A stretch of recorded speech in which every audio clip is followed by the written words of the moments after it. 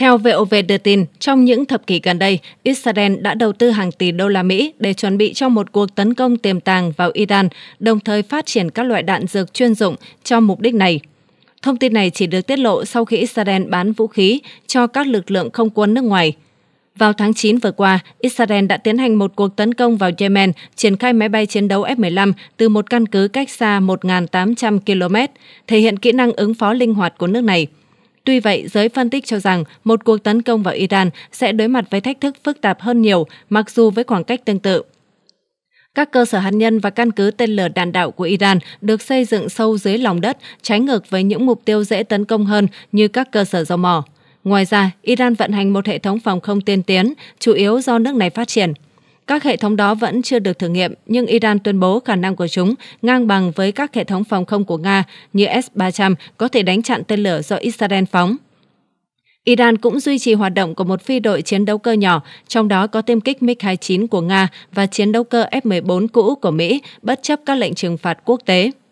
Trước những thách thức trên, lực lượng phòng thủ Israel đã dành 20 năm để chuẩn bị cho một cuộc tấn công tiềm tàng vào Iran, đầu tư hàng tỷ đô la Mỹ. Khoản đầu tư này chủ yếu được sử dụng để phát triển các loại đạn dược chuyên dụng, trong đó phải kể đến loại đạn dược mà Mỹ từ chối bán cho Israel cũng như các loại đạn dược cải tiến mà Washington không có. Những cuộc tấn công ở phạm vi khoảng 2.000 km thường được các lực lượng Mỹ và Nga thực hiện bằng tên lửa hành trình và máy bay ném bom. Israel đã phân bổ một phần đáng kể viện trợ của Mỹ để mua máy bay chiến đấu như F-15I, F-16I Sufa. Lockheed Martin đã phát triển các thùng nhiên liệu phù hợp dành riêng cho các máy bay chiến đấu này, tăng cường tầm bay của chúng mà không gây ảnh hưởng lớn đến khí động học hoặc tín hiệu radar. Một số báo cáo cho biết Israel cũng phát triển các thùng nhiên liệu có thể tháo rời cho tiêm kích F-35 cho phép chúng bay đến Iran trong khi vẫn duy trì khả năng tàng hình. Nếu không có những thùng nhiên liệu này, tầm bay của chúng sẽ không đủ. Vào cuối những năm 2000, ngành công nghiệp quốc phòng của Israel đã cho ra mắt hai tên lửa tấn công tầm xa được phóng từ máy bay chiến đấu. Mặc dù phạm vi tấn công chính xác của chúng chưa được tiết lộ, nhưng một số nguồn tin cho biết chúng có tầm bắn hàng trăm km, có khả năng tấn công từ bên ngoài phạm vi phòng thủ của Iran. Những tên lửa này di chuyển với tốc độ siêu thanh, giảm thời gian cảnh báo của đối phương và làm phức tạp hơn các nỗ lực đánh chặn, tăng cơ hội nhắm trúng mục tiêu. Tên lửa Rampage được phát triển thông qua sự hợp tác giữa tập đoàn Israel Aerospace Industries, gọi tắt là EAE, và tập đoàn Enbit Systems dựa trên mẫu tên lửa Extra của Enbit. Ban đầu Rampage được thiết kế để phóng từ mặt đất, nhưng sau đó các nhà phát triển đã điều chỉnh để triển khai trên không, tăng tầm bắn và tốc độ khi phóng từ máy bay chiến đấu. Rampage có nhiều hệ thống dẫn đường, cung cấp khả năng dự phòng để nhắm mục tiêu chính xác. Với chiều dài 4,7 m, đường kính 30,6 cm, trọng lượng 570 kg, Rampage mang đầu đạn 150 kg, giúp nó phát huy hiệu quả khi tấn công trung tâm chỉ huy và nhiều mục tiêu quan trọng khác. Rampage có thể được phóng từ máy bay F-15, F-16 và F-35 của Israel. Tên lửa có giá thành tương đối phải chăng, khoảng vài trăm nghìn đô la Mỹ cho mỗi hệ thống. Tên lửa được công ty công nghệ quốc phòng Rafael công bố vào năm 2019, kết hợp khả năng bay siêu thanh với thiết bị định vị vệ tinh và dẫn đường bằng quán tính, cũng như hệ thống nhắm mục tiêu quang học. Tên lửa này được phát triển trên phiên bản tên lửa Ancho của Rafael, có phần giống với tên lửa Shahat của Iran về tốc độ và khả năng cơ động. Tên lửa ROX có thể được phóng từ máy bay chiến đấu F-16 và F-35. Nhiều báo cáo cho biết có thể mang đầu đạn 500 kg giúp nó phá hủy các công trình kiên cố hoặc công trình ngầm. Các nguồn tin nước ngoài cho biết Israel có hệ thống tên lửa đất đối đất được trang bị cả đầu đạn thông thường và đầu đạn hạt nhân được gọi là tên lửa Jericho. Mặc dù Iran đã phóng hàng trăm tên lửa đạn đạo về phía Israel, khả năng Israel sử dụng những tên lửa này đối phó cuộc tấn công của Tehran có vẻ thấp – những tên lửa này ban đầu do công ty đa sau của Pháp phát triển, sau đó được IAI nâng cấp. Ngoài phát triển tên lửa, Israel phát triển bom phá bong ke có tên gọi là 500 MPR, có khả năng xuyên thủng các lớp bê tông dày 4 mét. Những quả bom này từng được thử nghiệm trên máy bay chiến đấu F-15I. Chúng có tầm bắn ngắn chỉ vài chục km. Tên lửa hành trình Pop I Turbo một vũ khí khác rất lợi hại của Israel là tên lửa hành trình Pop I Turbo do Rafael phát triển với tầm bắn 1.500 km. Nó được thiết kế để phóng từ tàu ngầm của Hải quân Israel, có khả năng mang cả đầu đạn thông thường và đầu đạn hạt nhân. Tầm bắn này cho phép tàu ngầm Israel tấn công Iran từ Biển Đỏ hoặc Biển Ả Rập mà không cần phải vào vịnh Ba Tư. Việc xuất khẩu các loại vũ khí tiên tiến trên cho các khách hàng nước ngoài đáng tin cậy cho phép các công ty Israel tái đầu tư vào phát triển tên lửa và bom, giúp giảm chi phí cho Bộ Quốc phòng Israel. Ngoài ra, không quân Israel được cho là đang cất trữ những vũ khí bí mật khác và chỉ thời điểm thích hợp để triển khai.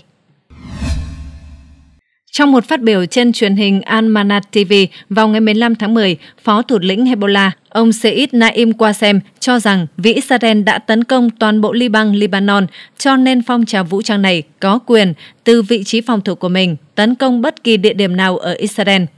Theo ông Qasem, từ ngày 17 tháng 9, thời điểm xảy ra các vụ nổ thiết bị liên lạc ở Liban, cho đến nay, Hezbollah không còn ở trong giai đoạn hỗ trợ Hamas nữa, mà đang ở trong một giai đoạn mới. Đó là giai đoạn đối đầu với sự xâm lược của Israel và cuộc chiến của Israel chống lại Liban. Trong giai đoạn mới này, ông Qasem tuyên bố rằng Hezbollah sẽ tập trung vào việc tấn công quân đội Israel và các trung tâm cũng như là doanh trại của họ.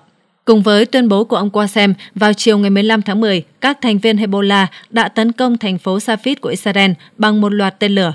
Sau đó, vào ngày 16 tháng 10, lực lượng phòng vệ Israel IDF cho biết khoảng 50 quả rocket được bắn từ Liban trong đợt tấn công đêm qua nhắm vào thành phố Safed của Israel. Chưa ghi nhận thương vong hoặc thiệt hại trong cuộc tấn công. Tuyên bố của IDF có đoạn một số rocket đã bị chặn lại và những quả đạn rơi xuống được xác định trong khu vực này – Hezbollah cũng xác nhận một cuộc tấn công thứ hai vào Maba al-Zaora ở cao nguyên Golan. Cũng trong ngày này, ngày 15 tháng 10, theo báo cáo của giới chức y tế Liban, quân đội Israel đã mở rộng chiến dịch ném bom tại Liban, giết chết ít nhất 22 người trong một cuộc không kích ở phía Bắc nhằm vào một ngôi nhà nơi những người sơ tán đang tìm nơi trú ẩn khỏi các cuộc không kích của Israel ở phía Nam. Các nguồn tin quân sự Liban tiết lộ rằng máy bay chiến đấu và thiết bị bay không người lái của Israel đã thực hiện tổng cộng 17 cuộc không kích vào các thị trấn và làng mạc ở miền nam Liban và 11 cuộc không kích vào miền đông Liban vào chiều ngày 15 tháng 10. Israel cho biết chiến dịch tại Liban nhằm đảm bảo sự trở về của hàng chục ngàn cư dân phải rời bỏ nhà cửa ở miền Bắc nước này do các cuộc tấn công của Hezbollah. Theo chính phủ Liban, các cuộc không kích của Israel đã giết chết 2.309 người trong năm qua và khiến hơn 1,2 triệu người đã phải rời bỏ nhà cửa. Phần lớn số người thiệt mạng là từ cuối tháng 9 khi Israel mở rộng chiến dịch quân sự, con số này không phân biệt giữa thường dân và binh lính. Khoảng 50 người Israel, cả binh lính và dân thường, đã thiệt mạng theo báo cáo từ phía Israel. Reuters đưa tin trong tuyên bố ngày 15 tháng 10 Văn phòng Thủ tướng Israel Benjamin Netanyahu lưu ý rằng nước này sẽ lắng nghe Mỹ, tuy nhiên vẫn tự đưa ra các quyết định riêng dựa trên lợi ích quốc gia. Tổng thống Mỹ Joe Biden từng tuyên bố Washington sẽ không ủng hộ Israel tấn công vào các cơ sở hạt nhân của Iran. Trước đó, tờ Washington Post trích dẫn tuyên bố cho biết Thủ tướng Netanyahu nói với chính quyền Tổng thống Joe Biden rằng Israel sẽ tấn công các mục tiêu quân sự, không phải cơ sở hạt nhân hay dầu mỏ của Iran. Thị trường dầu mỏ thế giới hiện đang lo ngại về viễn cảnh Israel tấn công các mỏ dầu của Iran. Các quốc gia vùng vịnh đã vận động Washington ngăn chặn Israel tấn công các cơ sở dầu mỏ của Iran vì họ lo ngại các cơ sở dầu mỏ của họ có thể bị lực lượng ủy nhiệm của Tehran tấn công nếu xung đột leo thang. Sau vụ tấn công tên lửa ồ ạt của Iran ngày 1 tháng 10, Israel nhiều lần tuyên bố sẽ đáp trả mạnh mẽ, đồng thời tăng cường tấn công vào Liban nhằm cô lập thêm Tehran về mặt quân sự một số tờ báo cho rằng ngày Yom Kippur hay lễ đền tội 11-12 tháng 10 có thể là dịp mà Israel sẽ tranh thủ ra tay. Song dường như các tướng lĩnh quân đội Israel đã quyết định chờ đến một thời điểm nào đó thuận lợi hơn. Hãng tin CNN ngày 12 tháng 10 dẫn các nguồn tin thân cận cho hay, Iran đang gấp gáp triển khai các hoạt động ngoại giao trong khu vực nhằm đối phó với khả năng bị Israel tấn công trả đũa nhằm vào các cơ sở hạt nhân và dầu khí. Theo báo Dân trí đưa tin, Iran đã phát đi thông điệp nước này sẽ không trả đũa trong trường hợp Israel chỉ tấn công hạn chế để đáp trả cuộc tập kích tên lửa của Tehran. Truyền thông Israel dẫn nguồn thạo tin giấu tên vào ngày 14 tháng 10 cho biết, thông qua trung gian, Iran đã gửi gắm đến Mỹ và Israel thông điệp rằng chu kỳ ăn miếng trả miếng hiện tại giữa Iran và Israel chấm dứt nếu Tel Aviv phản ứng hạn chế với cuộc tấn công tên lửa hồi đầu tháng của Tehran. Thông điệp trên được cho là đã được gửi qua các kênh ngoại giao bí mật liên quan đến các nước châu Âu đóng vai trò trung gian. Trước đó, Tehran cũng phát tín hiệu sẽ không trả đũa nếu Israel tấn công một số mục tiêu chiến lược quan trọng ngoại trừ cơ sở hạ tầng dầu mỏ hoặc hạt nhân. Theo các nguồn tin thân cận với giới ngoại giao, phần thứ hai trong thông điệp của Iran đặc biệt đáng báo động. Iran phát tín hiệu nếu một cuộc tấn công nhắm vào các tài sản quan trọng của họ, chẳng hạn như các mỏ dầu hoặc cơ sở hạt nhân, Tehran sẽ trả đũa, có thể bao gồm một cuộc tấn công lớn và vượt qua làn danh đỏ. Điều đó làm dấy lên mối lo ngại về khả năng leo thang xung đột trong khu vực. Mỹ và Israel hiện chưa phản hồi thông điệp của Iran.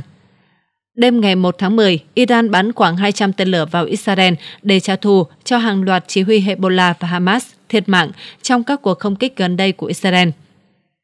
Tehran khẳng định 90% tên lửa đã đánh trúng mục tiêu, gây thiệt hại nặng nề cho các căn cứ quân sự của Israel. Trong khi đó, Israel cho biết thiệt hại trên mặt đất không đáng kể. Bộ trưởng Quốc phòng Israel Joab Gallant tuyên bố nước này sẽ thực hiện một cuộc tấn công đáp trả chết chóc, chính xác và bất ngờ nhằm vào Iran. Hiện chưa rõ Israel sẽ nhắm đến mục tiêu nào để trả đũa Iran. Hãng thông tấn NBC dẫn nguồn thạo tin cho hay Tel Aviv có thể đang tìm cách nhắm đến cơ sở hạ tầng năng lượng và quân sự của Iran. Giới chức Mỹ không phát hiện dấu hiệu nào cho thấy Israel sẽ nhắm vào các cơ sở hạt nhân hoặc thực hiện các vụ ám sát ở Iran. Theo nguồn tin của Washington Post, Thủ tướng Israel Benjamin Netanyahu đã nói với chính quyền Tổng thống Mỹ Joe Biden rằng Israel sẵn sàng tấn công quân sự hơn là các cơ sở dầu mỏ hoặc hạt nhân Iran. Hành động trả đũa của Israel sẽ được điều chỉnh để tránh bị cáo buộc can thiệp chính trị vào cuộc bầu cử ở Mỹ. Hay nói cách khác, ông Netanyahu ý thức được quy mô cuộc tấn công của Israel có khả năng chi phối cuộc đua tổng thống ở Mỹ. Giới phân tích nhận định một cuộc tấn công của Israel vào các cơ sở dầu mỏ Iran có thể khiến giá năng lượng tăng vọt. Một cuộc tấn công vào cơ sở hạt nhân của nước này có thể xóa bỏ mọi danh giới đỏ còn lại trong cuộc đối đầu của Israel với Iran, khiến xung đột leo thang hơn nữa và buộc Mỹ can dự nhiều hơn. Vietnamnet mới đây đưa tin, Thủ tướng Benjamin Netanyahu đã nói với Mỹ rằng Israel sẵn sàng tấn công các mục tiêu quân sự của Iran, chứ không phải các cơ sở hạt nhân hoặc dầu mỏ. Đây là thông tin được tờ Washington Post dẫn lời hai quan chức nắm rõ vấn đề này. Theo đó, Thủ tướng Netanyahu đã nói như vậy với Tổng thống Joe Biden khi hai nhà lãnh đạo trao đổi qua điện thoại vào tuần trước liên quan tới kế hoạch trả đũa Iran. Sau khi Tehran phóng hàng trăm tên lửa đạn đạo tấn công Israel hôm 1 tháng 10, Mỹ đã tìm cách kiềm chế hành động đáp trả của Israel đối với Iran nhằm ngăn chặn một cuộc chiến mở rộng ở Trung Đông. Một quan chức nói với Washington Post rằng Thủ tướng Israel đã đồng ý lên kế hoạch tấn công Iran theo cách không làm ảnh hưởng đến cuộc bầu cử ở Mỹ sắp tới, bởi một cuộc tấn công vào các cơ sở năng lượng Iran có thể khiến giá dầu tăng vọt, gây ảnh hưởng đến cơ hội của Phó Tổng thống Kamala Harris trước những cử tri vốn không hài lòng về giá xăng tăng cao. Cũng theo người này, hành động đáp trả của Israel sẽ diễn ra trước cuộc bầu cử vào ngày 5 tháng 11 tại Mỹ. Tờ Times of Israel đưa tin sau cuộc tấn công gây thương vong lớn ở căn cứ huấn luyện quân sự thuộc lữ đoàn Golani của quân đội Israel ở Binyamina trong đêm ngày 13 tháng 10, không quân Israel đã đặt mục tiêu xóa sổ hoàn toàn đơn vị 127 là tổ chức chịu trách nhiệm sản xuất, bảo dưỡng và vận hành các máy bay không người lái UAV của Hezbollah nỗ lực tiêu diệt mọi thành viên của đơn vị 127 cũng sẽ được ưu tiên trong công tác thu thập thông tin tình báo và triển khai không kích. UAV của Hezbollah đã giết chết 4 binh sĩ Israel và làm bị thương vong hàng chục người khác trong đêm ngày 13 tháng 10 là một phần của các cuộc tấn công trên không từ nhiều hướng của nhóm vũ trang. Theo đó, các tên lửa tầm ngắn được nhóm vũ trang Hezbollah ở Lebanon bắn về phía Bắc cùng 3 tên lửa chính xác được bắn về phía Haifa và 3 chiếc UAV. Một trong ba UAV đã bị Hải quân Israel bắn hạ, một chiếc khác thì bị Iron Dome bắn rơi. Chiếc UAV thứ ba bị máy bay phản lực và trực thăng của Israel truy đuổi và nhắm bắn hai lần. Các biện pháp tác chiến điện tử cũng không thể làm chiếc UAV mất phương hướng. Nó đã biến mất khỏi radar cách vùng AC 48 km về phía đông bắc. Vào thời điểm đó, Israel cho rằng nó đã bị rơi. Tuy nhiên, cuộc điều tra của lực lượng phòng vệ Israel IDF cho biết chiếc UAV này sau đó đã xuất hiện trở lại trên màn hình radar, nhưng phía Israel lại không xác định được đó là UAV vào thời điểm đó. Trong quá trình xung đột, khoảng 1.200 UAV đã được bắn vào Israel và 221 chiếc đã vượt qua được hệ thống phòng thủ của Israel.